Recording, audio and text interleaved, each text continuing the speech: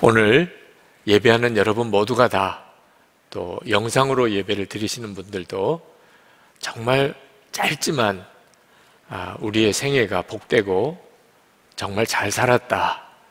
그런 고백을 할 수 있는 삶을 살게 되기를 진심으로 축복합니다. 모든 사람이 다 원하시는 거죠. 다 잘 살고 싶고, 또 성공하고 싶고, 또 복되게 살고 싶잖아요. 그러나 참 아쉬운 것은 대부분의 사람들이 아, 자신의 삶을 실패라고 생각하고 또 좌절하고 또 너무 슬프고 그리고 후회만 남는 생애를 사시는 것 같습니다.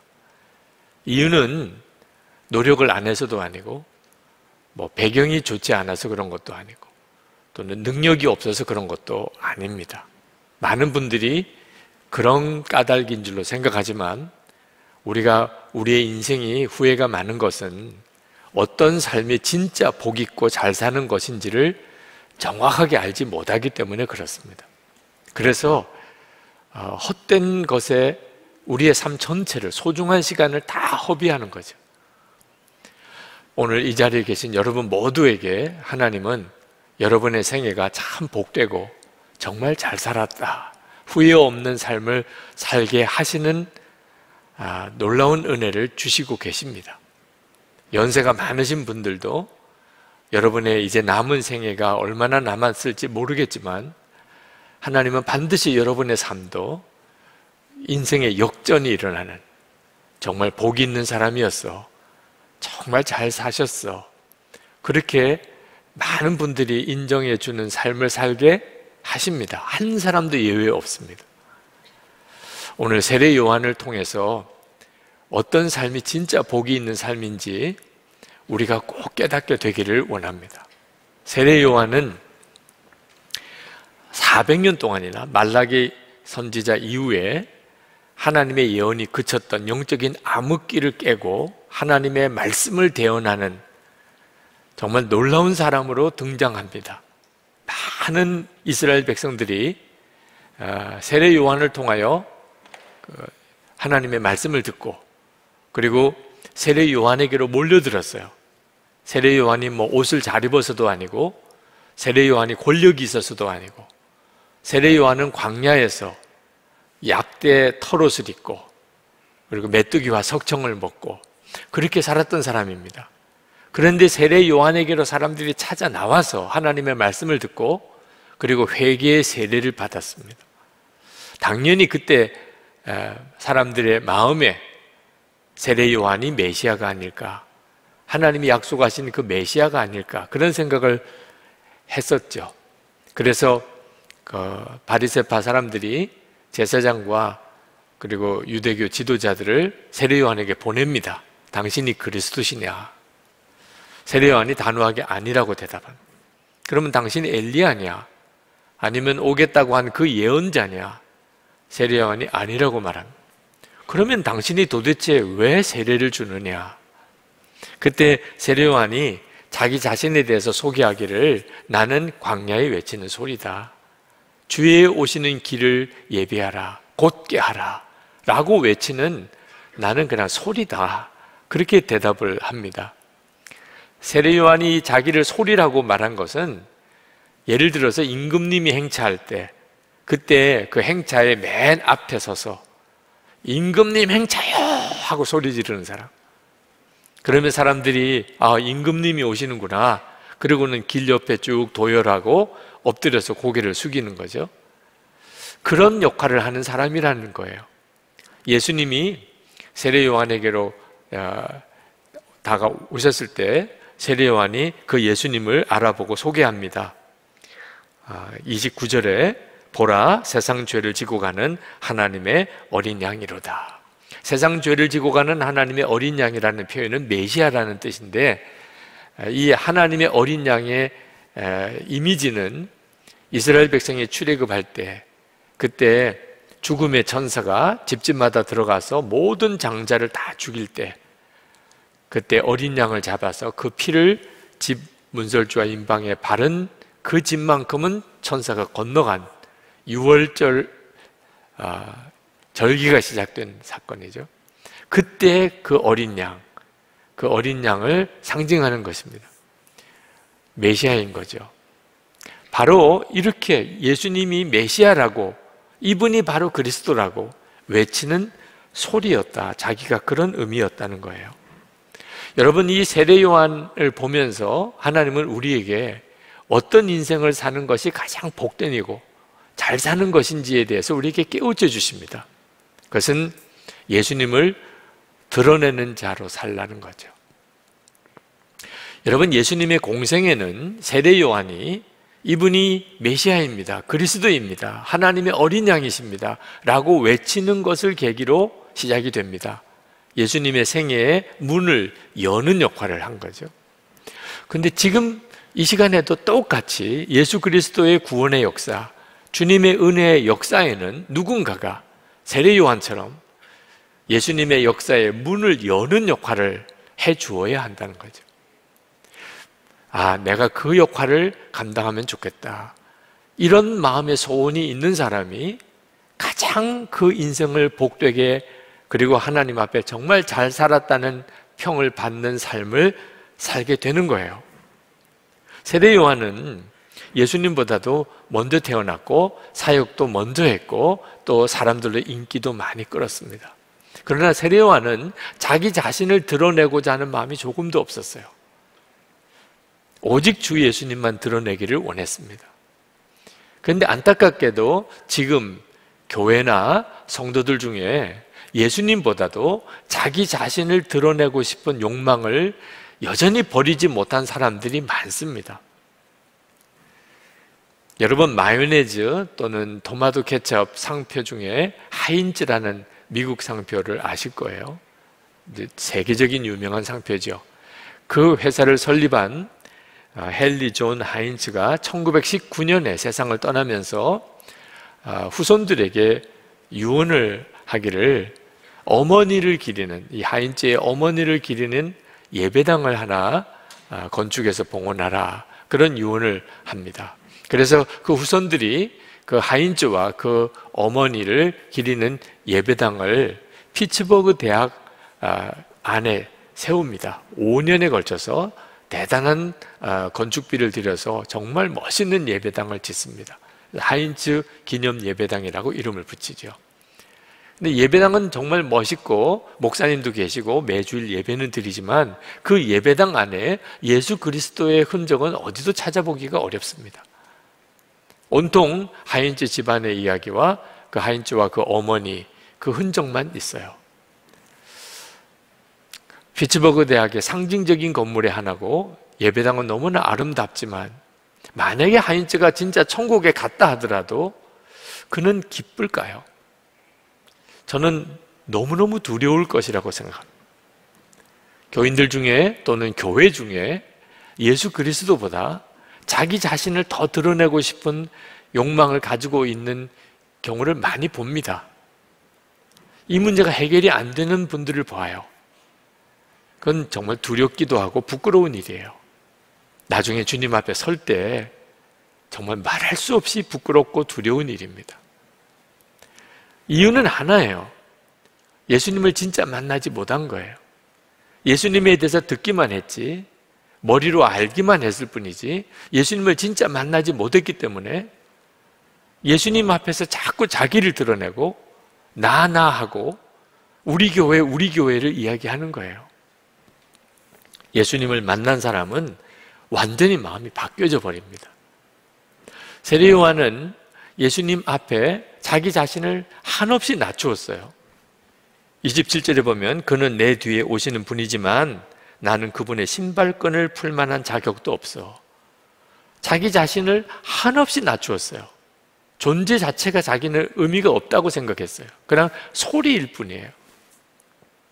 이유는 세례 요한이 예수님을 실제로 만났기 때문입니다. 예수님이 메시아인 것을 알아보았기 때문이에요.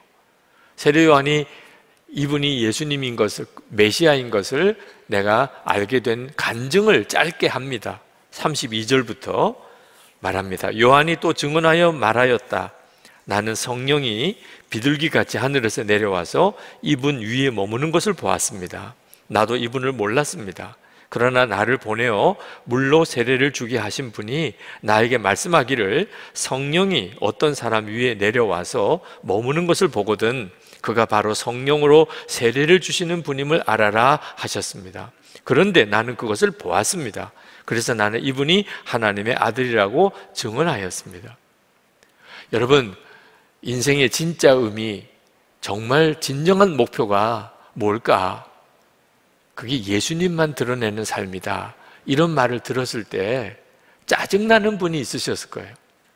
또는 뭐 적어도 마음에 선뜻 동의가 안 되고 그렇다. 아멘이 안 되시는 분들도 있으셨을 거예요. 예수님만 드러내는 게 가장 성공적인 인생을 사는 것이라고 아직도 받아들여지지 않는 분들이 있을 거예요. 이유는 하나예요. 예수님을 진짜 만나지 못한 거예요. 예수님을 정말 만난 사람은 그러면 당연히 아멘이에요. 예수님만 드러내는 삶을 사는 게 그게 가장 기쁘고 행복해요. 예수님 그분이 얼마나 놀라운 분인가를 알았기 때문이에요. 세례 요한이 예수님이 메시아인 것을 그가 알아보고 나니까 자기는 어떻게 되어도 아무 상관이 없어요. 그 예수님만 오직 드러나는 것만 세례 요한의 기쁨이었어요. 예수님께서 그리스도라는 사실을 세례 요한이 증거하니까 세례 요한의 제자들까지 예수님에게로 다 옮겨갔습니다. 그 중에 한 사람이 안드레라는 제자예요. 근데 이 안드레가 자기만 간 게 아니고 자기의 사촌인 베드로까지 예수님에게로 인도해 갑니다. 자, 사람의 심정으로 따지면 이런 일이 벌어지면 누구도 마음이 언짢고 불편하고 시기심이 생기게 되게 되잖아요. 내 제자인데 어, 예수님에게로 옮겨가는 일이 생길 때 기분 좋을 사람이 누가 있어요? 근데 세례요한은 달랐어요. 그런 일이 벌어질 때 세례 요한은 마음으로 너무 기뻤다고 했습니다. 우리가 앞으로 읽겠지만 요한복음 3장에 보면 그때 세례 요한이 이렇게 말합니다. 요한복음 3장 29절에 신부를 취하는 자는 신랑이나 서서 신랑의 음성을 듣는 친구가 크게 기뻐하나니 나는 이러한 기쁨이 충만하였노라. 여러분 이해가 잘 안 되실 일이죠. 네, 자기 사람이 다 다른 사람에게로 옮겨가는 일인데도 그렇게 기쁠 수 있을까? 예수님을 만나고 사람들이 예수님에게로 모여들고 예수님만 주목하는 일들을 보면 사람은 그렇게 된다는 거예요. 세례 요한은 정확하게 그 기간을 계산하기가 참 어렵지만 그래도 한 1, 2년 정도 아주 짧은 기간 동안에 그가 공적인 사역을 했었던 것 같습니다.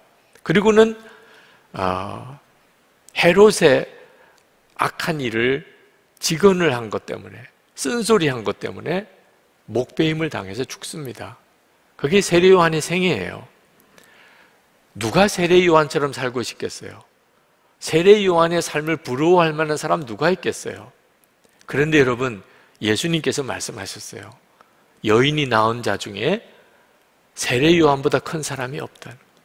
마태복음 11장 11절에 내가 진실로 너에게 말하노니 여자가 낳은 자 중에 세례 요한보다 더 큰 이가 일어남이 없도다. 여러분 여기서 이제는 알아야 합니다. 세상에서 부자가 되고 성공하고 유명해지는 것이 그게 진짜 우리 인생의 목표가 될 수 없다는 거예요.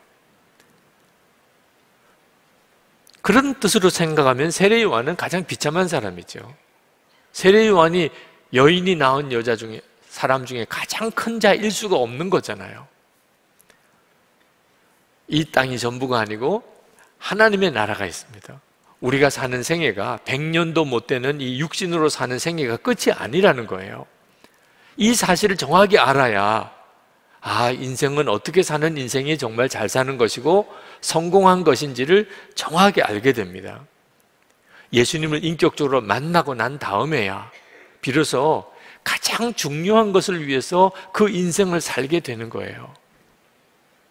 저는 목사이기 때문에 주의 종이라는 아, 그런 별칭을 아, 받았습니다. 주의 종. 목사는 주의 종이라는 거죠. 근데 저는 주의 종 아니었어요. 세상에 어떤 종이 자기 마음대로 사는 종이 있었겠습니까? 저는 그렇게 살았어요.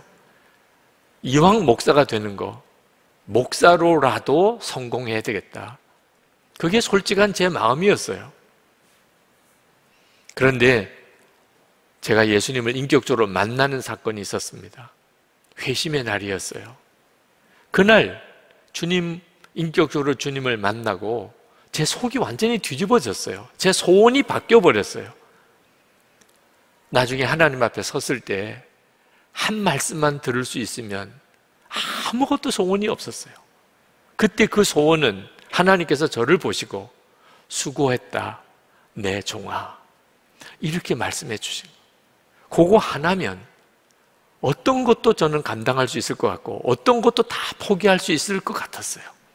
그게 가장 저에게는 마음의 간절한 소원이고 갈망이었어요.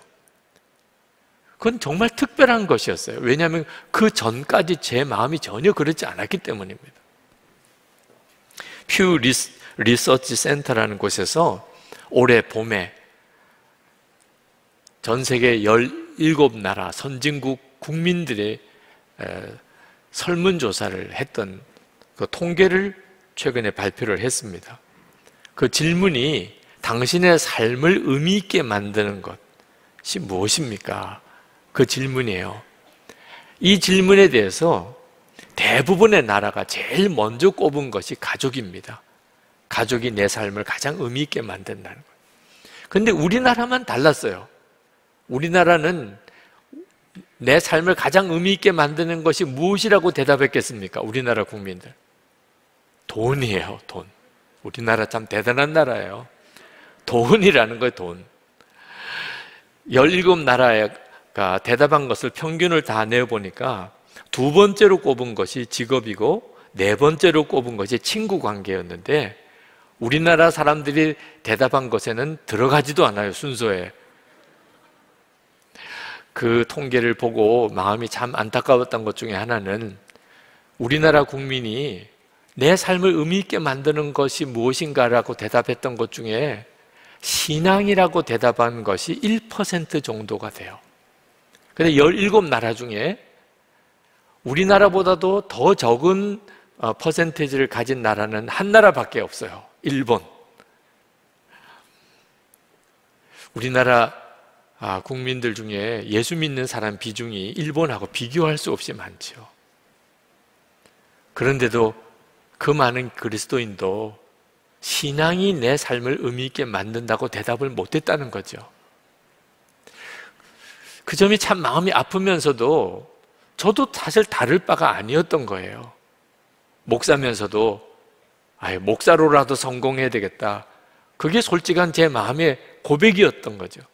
그런데 그게 완전히 그날 뒤집어지더라고요. 주님을 만나고 나니까. 하나님의 종일 진짜 그렇게 하나님이 불러만 주실 수 있는 사람이 된다면 원하는 게 없었어요. 그때 그 느낌이 너무너무 생생했어요. 그래서 그 이후에 제 삶에 중요한 결정을 해야 될 때마다 항상 그 느낌을 따라갔어요. 물론 순간순간 흔들리는 때가 있었어요, 저에게도.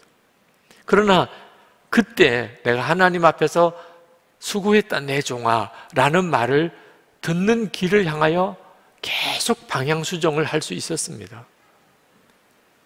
저는 여러분들에게도 오늘 이 설교를 하면서 그 말씀을 드리고 있는 거예요. 세례 요한처럼 오직 예수님만 드러내는 삶을 여러분의 인생의 목표로 삼으시라는 거죠. 그게 진짜라는 것을 알았기 때문이에요. 사도 바울은 이렇게 고백을 했습니다. 로마서 14장 18절에 우리가 살아도 주를 위하여 살고 죽어도 주를 위하여 죽나니 그러므로 사나 죽으나 우리가 주의 것이로다. 그리고 고린도후서 4장 10절에 우리가 항상 예수의 죽음을 몸에 짊어짐은 예수의 생명이 또한 우리 몸에 나타나게 하려 함이라. 그 말씀이 무슨 뜻이냐 하면 고린도서 5장 15절에 내려가면 그가 모든 사람을 대신하여 죽으심은 살아있는 자들로 하여금 다시는 그들 자신을 위하여 살지 않고 오직 그들을 대신하여 죽었다가 다시 살아나신 이를 위하여 살게 하려 하십니다. 이게 바로 예수님을 진짜 믿은 사람, 예수님을 인격적으로 만난 사람이 마음에 가지게 되는 소원이에요. 이제는 더 이상 나를 위해 살고 싶지 않고 예수님 위해서 살고 싶어요. 주님만 드러나면 좋겠고 사람들이 나를 보지 않고 주님을 바라보면 행복해요. 그게 가장 잘 사는 길이에요. 이 고백은 고통스러운 고백이 아닙니다. 정말 환희에 넘치는 노래예요. 이제 진짜를 발견한 거예요. 아유, 목사님, 나는 세례요한처럼 예수님을 만나지도 못했기 때문에 나는 그런 세계는 이해가 안 됩니다. 여러분, 그렇게 말하지 마세요. 여러분, 세례요한은 성령께서 예수님에게 머리에 임하시는 것을 비둘기가 임하는 것처럼 임하는 걸 보고 아, 이분이 메시아구나 하는 걸 알았어요. 근데 우리는 어떻습니까? 우리는 성령이 우리 안에 임하시고 예수 그리스도께서 우리 안에 거하시는 것을 믿게 한 사람이에요. 아니, 예수님을 바라보고 성령이 그 머리에 임하시는 것을 본 세례 요한이 큽니까? 예수님을 마음에 모시고 성령께서 주님이 내 안에 계신 것을 증거하게 되는 우리가 큽니까? 어느 쪽이 더 큽니까? 우리가 훨씬 크죠. 그래서 예수님께서 마태복음 11장 11절에서 여인이 나온 자 중에 세례 요한보다 큰 자가 없다고 말씀하시고는 그 다음에 이렇게 말씀하셨어요. 그러나 천국에서는 극히 작은 자라도 그보다 크니라. 우리를 향하여 말씀하고 계신 거예요. 우리가 세례 요한보다 더 크대요. 어째서 그게 가능하죠? 우리 안에 성령이 임하시고 그리고 예수 그리스도가 우리 안에 거하시는 것을 알게 하신 거예요. 그래서 우리가 예수를 믿는 거고 오늘 이렇게 예배도 드리는 거예요. 우리는 세례요한보다 훨씬 더 큰 사람이에요. 성령이 우리 안에 거하시기 때문에. 그렇다면 당연히 우리도 예수님만 드러내는 삶을 살아야 마땅하고 그렇게 살 수 있는 사람입니다. 그렇게 살 때 우리의 삶 전체가 뒤바뀌기 시작해요. 어느 목사님께서 예수님의 사람 세미나에 오셔서 예수님과 함께 죽고 예수님으로 사는 놀라운 복음의 비밀을 새롭게 눈뜨셨어요. 그게 얼마나 놀랍고 충격적인지 목사님의 마음도 삶도 다 바뀌었어요. 가정생활도 달라지고 목회도 달라졌어요. 말씀 증거도 달라졌어요. 얼마나 행복한지 내가 이렇게 행복해도 되나 그게 걱정이 될 정도로 그렇게 행복하고 기쁨이 넘치는 삶을 사셨어요. 그런데 큰 시험이 닥쳤습니다. 그 지방을 치리하는 감리사님께서 그 목사님이 교회에 대하여 뭘 잘못 치리를 하시는 바람에 큰 분란이 생기게 되었습니다. 그 목사님 얼마나 억울하고 얼마나 괴로운지 그동안에 되어진 일을 다 문서로 작성을 했습니다. 그 문서 속에는 감리사님이 명백하게 잘못 처리했다는 증거가 나와 있어요. 그리고 이것을 이제 공포하기로 했습니다. 그리고 하나님께 기도했어요. 하나님, 이 일을 통하여 명명백백하게 시시비비가 가려지게 해달라고 기도했습니다. 근데 그때 하나님께서 너무나 마음에 선명하게 주시는 말씀이 있었어요. 위의 권세에 순종하라. 목사님이 엄청 충격을 받았어요. 로마서 13장 1절에 각 사람은 위에 있는 권세들에게 굴복하라. 권세는 하나님께로 나지 않음이 없나니 모든 권세는 다 하나님의 정하신 바라. 그 말은 감리사님에게 굴복하라 이런 뜻이잖아요. 얼마나 억울한지, 얼마나 원통한지. 나는 하나도 잘못한 거 없고 그분이 잘못한 건데 그걸 다 감수해야 된다는. 근데 그 정도가 아니고 모든 지방의 목사님들 앞에서 내가 잘못했다고 그렇게 말하라는 거예요. 도무지 그 말씀은 순종을 못 하겠더래요. 근데 그때 마음에 이것이 왜 이렇게 힘드냐? 내 자존심 때문이냐? 아니면 주님의 자존심 때문이냐? 생각해 보니까 자기 자존심이더래요. 그렇다면 이미 나는 죽었는데 더 이상 내 자존심 내세울 이유가 없잖아. 내가 자꾸 내 자존심 내세우면 결국은 우리 지방은 둘로 쪼개지는데 그래서 순종합니다. 지방 교육자 회의 때 나가서 다 제가 잘못했습니다. 제 잘못입니다. 그렇게 고백을 했어요. 그때 그 감사님이 얼마나 의기양양해 하시면서 그렇지 내가 이겼다 그런 표정이시더래요. 다른 사정을 아는 목사님들은 너무너무 힘들어 하시더래요. 그 목사님이 고백을 하시더라고요. 주님이 이기셨습니다. 어떻든지 지방을 하나 되게 만드시려고 하시는 주님이 이기셨습니다. 정말 그 목사님이 너무 귀해 보이시더라. 어느 목사님이 그 일기에 이렇게 쓰셨더라고요. 주일 예배를 드리려고 강단에 올라오셨는데 어느 교인 한 사람의 눈에 딱 뜨이더래요. 한 1년 정도쯤 교회를 안 나오신 분이셨어. 근데 마음에 반가운 마음보다는 너무 불편하더래. 그분이 그렇게 사정사정을 해서 교회에 중요한 직책을 맡게 드렸는데 아, 그 얼마 안 가서 교회를 떠나신 거예요. 연락도 안 되고 내가 사람을 잘못 보고 사람에게 일을 맡겼다. 목사인 내 책임이지. 겨우 그렇게 마음 정리를 했는데 아, 이분이 갑자기 다시 교회에 나오신 거예요. 근데 잘 오셨다고 도무지 할 수가 없겠더라는 겁니다.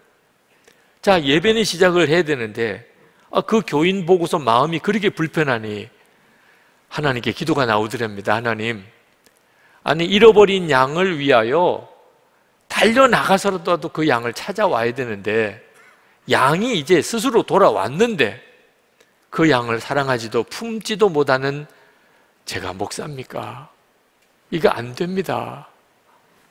자, 예배는 시작해야 되는데 도대체 예배를 시작할 자신이 없는 거예요, 자기가.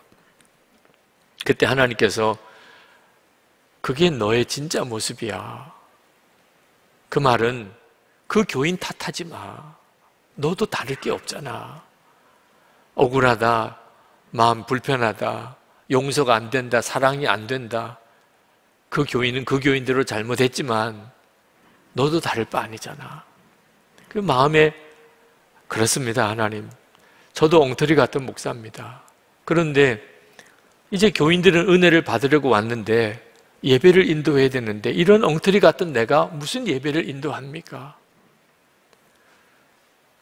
그때 하나님께서 그래도 나는 너를 통해서 은혜를 흘려보내기를 원한다. 하나님, 저는 용서도 못하고 또 교인들을 마음에 허물이 있는 교인을 품지도 못하는 정말 교만하고 사랑이 없는 목사인데 교인들은 오늘 은혜를 사모하여 왔습니다. 저를 보시고는 은혜를 흘려보낼 수 없으시겠지만 갈망하는 교인들을 보고 하나님 오늘 예배에 은혜를 주소서. 너무너무 눈물이 나더래. 그렇게 예배를 시작하셨노라고 쓰셨더라고. 여러분 우리의 사는 지금의 일상의 삶 속에 우리는요 계속해서 주 예수님이 드러나실 수 있느냐 없느냐는 문제에 계속 부딪혀 있어요.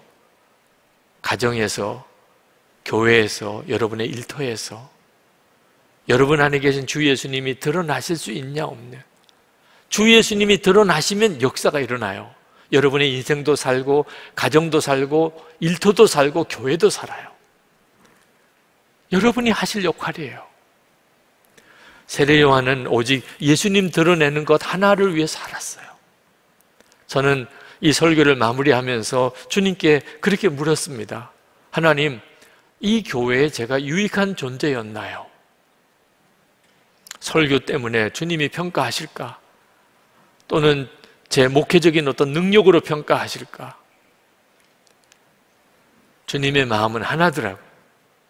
주 예수님만 드러내기를 힘썼냐? 그게 하나의 기준일 뿐이에요. 여러분의 가정도 마찬가지입니다. 여러분 섬기는 교회 현장도 여러분의 일터에서도 여러분이 정말 잘 사는 사람인지 복된 사람인지는 여러분이 예수님 안에서 살든지 죽든지 오직 주님만 드러나는 나는 죽었습니다. 이 고백이 그래서 중요한 거예요. 그리고 주님이 드러나실 수 있다면, 그러면 정말 놀라운 은혜의 삶을 우리가 살게 되는 것입니다. 그렇게 되기를 축복합니다. 기도하겠습니다.